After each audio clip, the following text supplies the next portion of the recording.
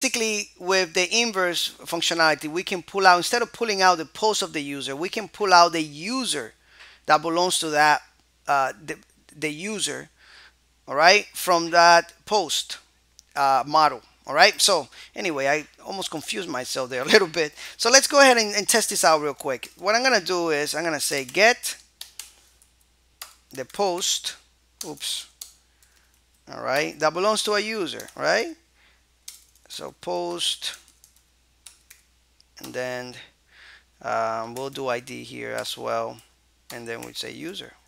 We're gonna pull that user that belongs to that post. That's what I've been trying to say guys all right? Don't laugh at me don't make jokes.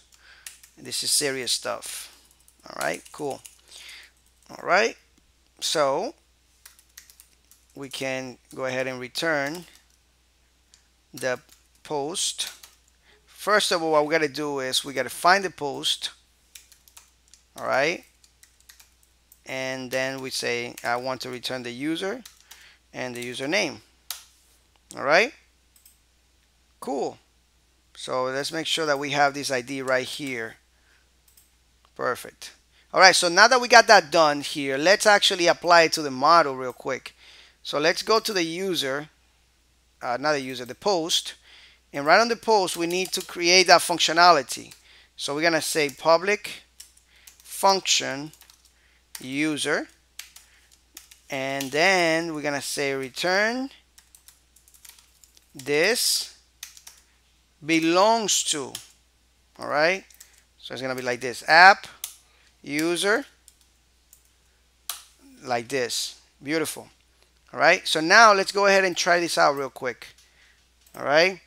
So now here we'll come here and we'll say, listen, I want to get the post number one that belongs to this user. Enter. I mean, I want to get the user that belongs to this post.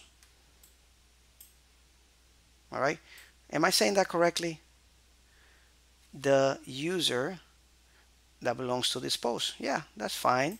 Right there. This user belongs to this post. Yeah, I'm good, guys. All right. So as you can see, we defined the reverse, right? We are doing the reverse and we call this actually the inverse, right? The inverse relationship. So you can do this with different relationships. So make sure that you learn this really good. Basically what we did, we did the opposite. All right. We went to the other model, all right, and created a function called post. And then we went to routes to pull this information out.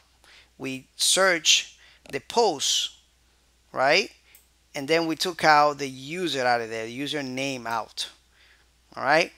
So the, all we did was the inverse uh, version of it. So learn that. It's pretty cool. Thank you so much for watching, and I'll see you in the next lecture.